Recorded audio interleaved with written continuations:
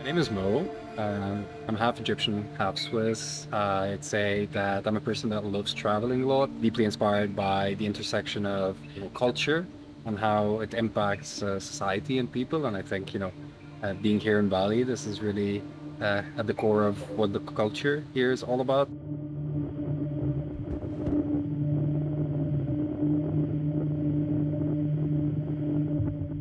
Being here early in the morning and getting into the temple uh, with the sunrise and local people around you explaining to us exactly the meaning behind each step.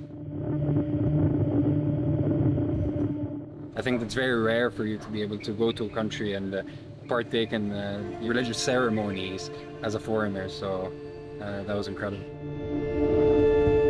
It's a very sensorial experience. So you're actually closing your eyes, you're feeling the flowers that you're touching, you're also smelling the incense, you're, you feel the sun that's touching your skin, you hear the sounds.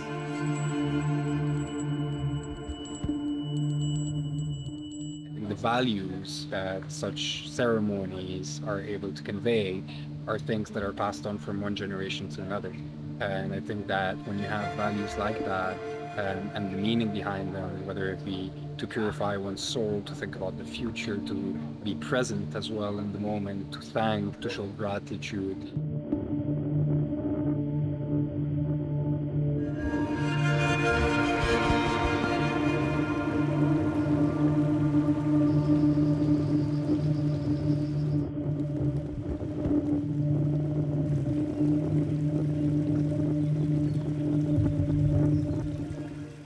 It's uh, very inspiring and fulfilling uh, for me personally, but I'd also encourage uh, you know anyone in the world to come and, and, and, experience this and make sure that whatever you know they believe in can also be part of this beautiful you know ceremony and this beautiful culture that's here in Bali.